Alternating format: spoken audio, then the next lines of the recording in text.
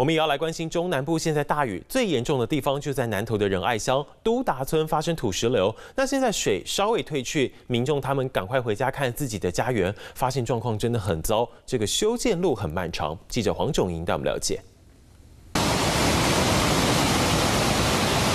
卡努台风夹带豪雨重创南投县仁爱乡都达村发生土石流，民宅跟车辆都被淹没。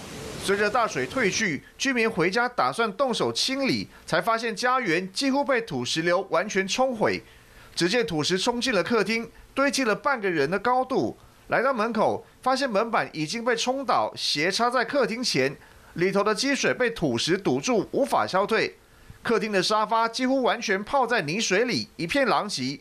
再往里头走，还能看到所有的家具随着大水的流向，全都冲进了厨房，东倒西歪。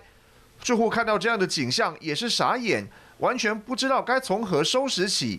门口当时有三辆汽车被土石淹没，现在大水消退，车子已经变成泡水车，再花钱修理可能也划不来。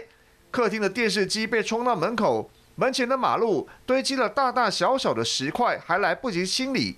居民站在门口看着残破不堪的家园，相当无奈。另外，普里镇五公里等靠近山区的地方也有土石滑落。泥沙碎石冲进民宅，公所也提醒民众这几天请勿靠近山区。以上是我们掌握的最新情形。